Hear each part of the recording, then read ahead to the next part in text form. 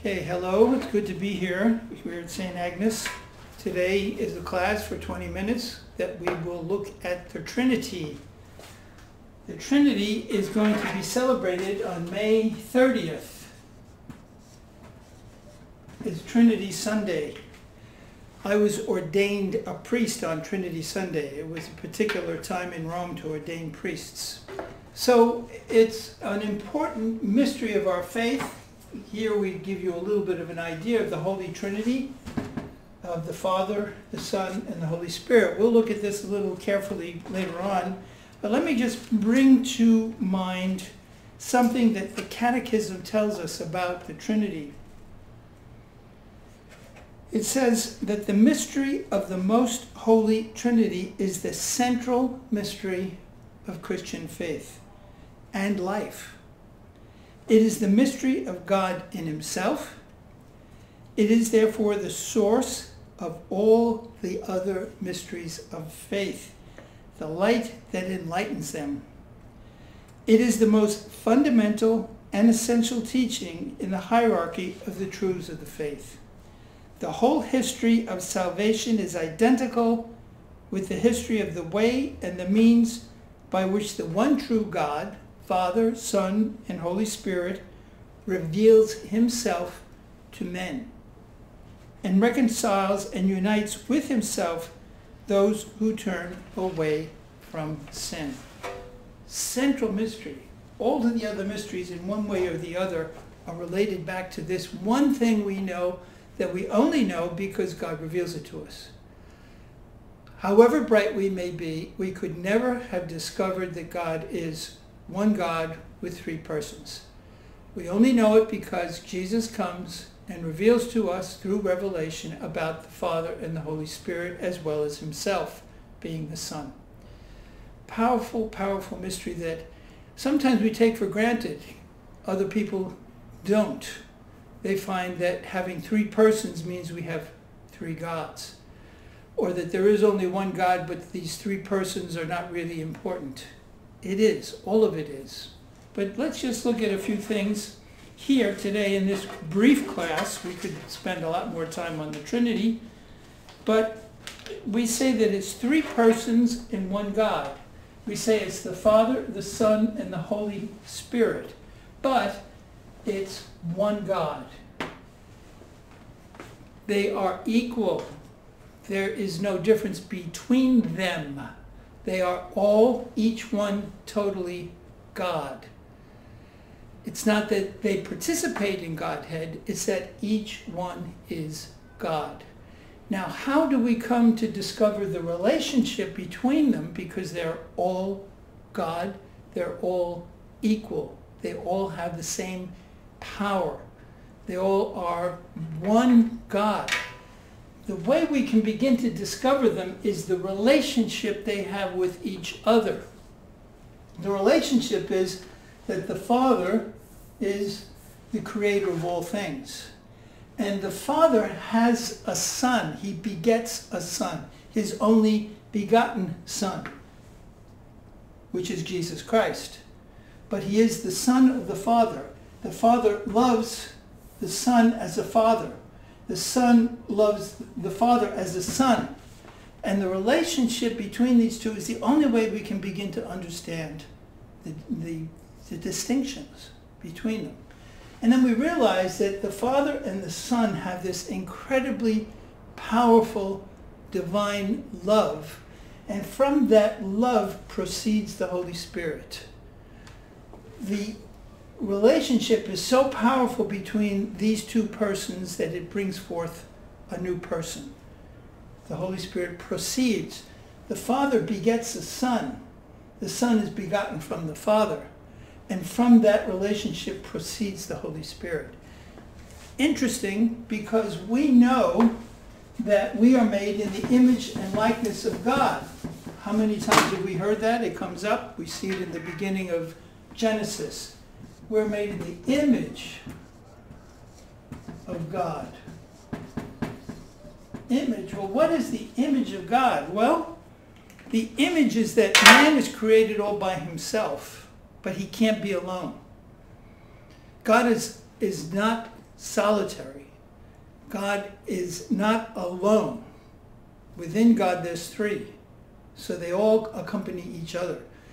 But man can't be alone. So what does God do? He creates a woman who comes from him. Now they're equal. They uh, have the same power. They have the same approach. There's no difference between them in terms of the way God looks at them or the way they look at each other. Now, obviously, we have struggles in the history of the world to understand that. But that's the way they are.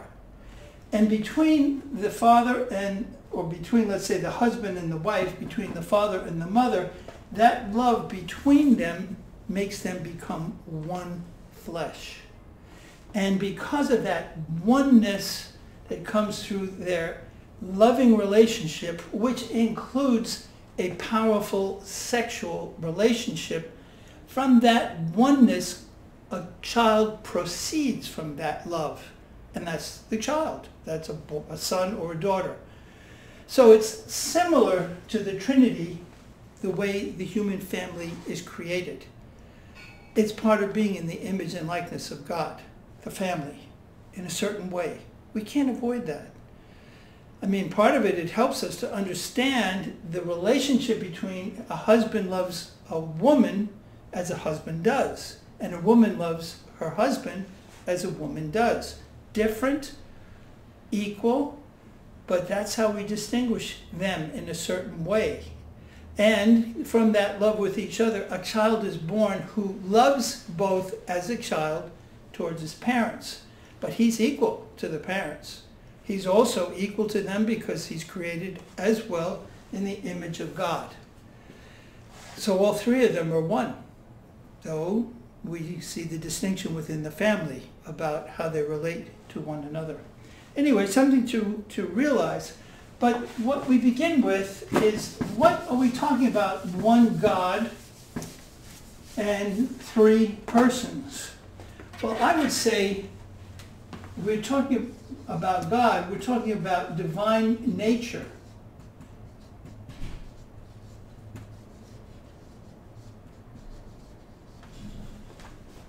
As human beings, we have a human nature. And I think you can see that none of us has ever come across anything that exists that different from its nature. You know what it is by the nature that it has. And in God, it's the divine nature of the Father, the Son, and the Holy Spirit. But at the same time, the Son assumes a human nature when the Son assumes a human nature, it does not affect his divine nature. It doesn't mix in with the divine nature. The divine nature doesn't affect the human nature. The human nature doesn't affect the divine nature. And that happens in the person of the Son. Now, where do we get this notion of nature and person? Well, those were phrases developed philosophically probably in the first centuries of Christianity. Probably when you get to uh, the Council of Chalcedon in 481, whatever it was, you begin to see the notion of what is nature and what is person. So how can we talk about divine and human nature and person, a divine person and a human person, or an angelic person, among other things. Once we begin to understand this, and this is part of the reason why the creed began to be misunderstood the Orthodox people say that the Holy Trinity, the Holy Spirit comes from the Father and it's through the Son. Whereas as Catholics in the Western Church, we say that the Father and the Son brings the Holy Spirit together. So we say that it's consubstantial, the Father and the Son and the Holy Spirit. Small detail, but at the time it was a big detail in theology. And probably there were some other elements involved. But what we begin to realize then is that Jesus Christ, the Son as a person, the Holy Spirit as a person, the Father as a person, form together one God. So in this triangle, we say the Father is God, the Son is God, the Holy Spirit is God. The Son is not the Father, the Father is not the Son. The Father is not the Holy Spirit, nor is the Holy Spirit the Father. And Son is not the Holy Spirit, and the Holy Spirit is not the Son. Interesting what they are and what they aren't. Sometimes it's hard to grasp because it's such a very deep truth that our mind will never grasp it, ever, on this earth. We can only come remotely close to what God is all about. But this is what we're trying to do in this particular class in 20 minutes. So, we see this, this notion that the Son has a divine nature. So when I look at Jesus Christ, I'm looking at a divine being. I can't say that Jesus Christ is a human being because he's not human being. He's the divine being, but a divine being with a human nature as well as a divine nature. So it has two natures in one person. Nobody does that. They call it the hypostatic union. A little bit of a fancy word, but that union of the two natures in one in one person, the Son, who happens to be also divine, who's the second person of the Blessed Trinity. Very hard to grasp, but it's something to reflect upon because what we're trying to do is understand what God is and what God is not. And that's part of the Holy Trinity, that he is one God. I think it's beautiful that God is not alone. He has to have the others because that's the way God is. Uh, I can't say that's the way God is made because you don't say that. That's the way God is. And as God is, is the way he makes us in his image. And that's the way we are. And I think that helps us when we get down the road to some of the areas of understanding sexuality, gender, all of that.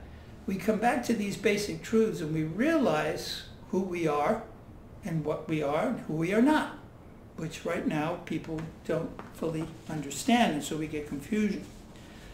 So the Father is not the Son or the Holy Spirit. He loves as a father and the Son loves as a son. So from this, it's like a family, but then in the image and likeness of God, the husband does love the wife as woman, as a woman, not lesser or more, not uh, unequal in any way. He can't look down on a woman, nor can a woman look down on a man. I mean, yes, we read certain things in Scripture that people confuse of St. Paul in times when he talks about the woman has to be subject to the man. But of course, it doesn't also mention that the man has to be subject to God. And so the man has to love the woman the way he loves himself. So you begin to realize, if you go back to those points in Scripture, which we won't go into here, you begin to realize that in those words that St. Paul uses, this is already in the background. And then it helps us to understand that the two, in loving each other, are equal. Now, you could say that within the nature of the household, the father has, you could say, the final decision after he's heard his wife, above all, as well as the other people in the family. But he still has that responsibility. But at the same time, he can't exercise that responsibility without talking to his wife. One of the great things about marriage is communication. If there is no communication, the marriage does not last. Because the father can't do what he wants to do just because he wants to do it. He has to communicate with his wife. He has to communicate with his kids. The wife has to communicate with the husband because there are many decisions she makes that she can't just make up on her own. She communicates. She communicates with her children. So that communication is part of this aura that takes place within the mystery of the Trinity. Now, you know, communication for them isn't something that goes through a period of time because there is no time. And because it's God, it's, I, I don't even want to say instantaneous because it's not even instantaneous, it just is. That's what God is. We have to imitate that as best as we can to follow God. So um, we go to Nazareth, and in a mysterious way, you could say that Nazareth is a trinity on earth that can lead us to the trinity in heaven. This is words of Saint Josemaria Escrivá and others as well, but it was one of his favorite things was that we go to the Trinity on earth to enter into the Trinity of heaven. Trinity on earth is Jesus, Mary, and Joseph. so if we go into that household and we become part of that family, we already are entering into Mary, who is the mother of God. This was a big problem in early years, in the very early centuries, that Mary is the mother of Jesus, but not the mother of God. Well, how can you do that? Jesus is a person, a person who's divine and human, and Mary is the mother of that person who's divine and human. So she is the mother of God, not the mother of somehow another creature called Jesus Christ who's not yet God. Doesn't work. And then Joseph is called to be the father of God. How? Fundamentally through his relationship to Mary.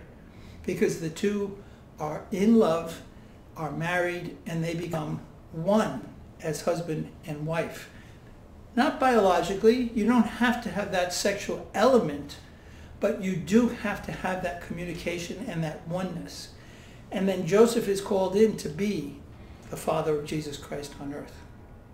Mary and Joseph have this role, and Jesus, though he's the greatest, he's the son. He's the one who serves the parents, and who eventually, as he grows older, goes on to his own professional work, which is eventually to abandon his work as a carpenter, a very good carpenter, probably one of the best carpenters, to become a preacher, to become a rabbi, to tell people about what does the Father want the people to understand who sent the Son to tell them what he wants in this relationship of love.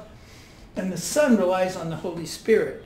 Not only during his lifetime does he count on the strength of the Holy Spirit, but when he dies, as we have recently seen after the resurrection, he tells them that when he leaves, he's going to send them the Holy Spirit, who will take his place as another counselor, as a paraclete as someone who takes the place of the Son and guides the church down until the end of the ages. So he founds the church and starts it, and he leaves it to the Holy Spirit to continue to guide the church down. The Father, the Son, and the Holy Spirit have this arrangement. And when we go into the Holy Family, we're entering into this because Mary is the best daughter of the Father of all human creatures and is the mother of the Son, and Mary is the spouse of the Holy Spirit. Because it's not Joseph, it's the Holy Spirit. When Gabriel goes to her, she's not sure how this will take place, and he says, well, the Holy Spirit will come over you. And that's how she has the Son. So Mary is not even close to the level of God, ever. But of all creatures, she is immeasurably put into the center of the Trinity. And through her and through Joseph, we enter into the Trinity, particularly because her son is God. In her son being God, we eventually become sons and daughters of God through that. Because as human beings, we become brothers and sisters of the Son. Because, because the human race is created as a family through the father and the mother, Adam and Eve, down through the ages. And when we enter into this human nature of the Son, we are then brought into the divine nature. That's why children of God, people in, in, in the Catholic Church, are children of God because they become brothers and sisters of the Son, who is human, but never abandoned his divine nature. So as he enters his human nature, he's drawing us into his divine as well as do we share in his human nature. The best way a man or a woman can function is look at the example of Jesus Christ. And I don't mean the miracles and the teachings. look at the example of Jesus Christ as a son within this beautiful family that he belongs to with Joseph and Mary as his parents. So, some ideas. Um, sometimes people will say that we blaspheme because if you're Muslim, there's only one God, period. You say, well, yeah, but we have three persons. Well, that means you have three gods. No, that's not what we said, but that's what they think. We say God is our father. They say you can't do that. God is master and you're a slave. But you can never say that God is your father. That's blasphemous. Even in the Old Testament, it took time before the Jewish people understood that God is our father. It took time before people recognized that. And then, sure enough, when the Son reveals it, it fits. Things begin to come together. And then we see the Holy Spirit certainly in the Annunciation, but we see it at the baptism of our Lord where the Holy Spirit comes upon him visibly to John the Baptist. Then we begin to see, wow, there are these three persons. Took a while to say persons, but three persons who are all one God, the most holy, blessed Trinity. So uh, I think that can probably open a lot of questions to you as time goes on. Again, I always say if you have questions, feel free to email in and ask whatever you want. We'll try and talk about it in the future. But we keep coming back to this great, wonderful world of the divine entering into the human nature and the human nature being drawn into the divine. And it's all being done because the Father, the Son, and the Holy Spirit, as God decided to do this. Why? I don't, I don't know why. I can't figure it out. They decided out of love. They decided to create human nature and to create creatures with human nature. And then they decided out of some way to fall in love with us. And out of that love, they eventually draw us into their life, into their household, to become members of the household of God. So celebrate the Most Holy Trinity on May 30th. Please uh, remember to pray for St. Agnes on that great solemnity. And uh, thank you very much for listening in.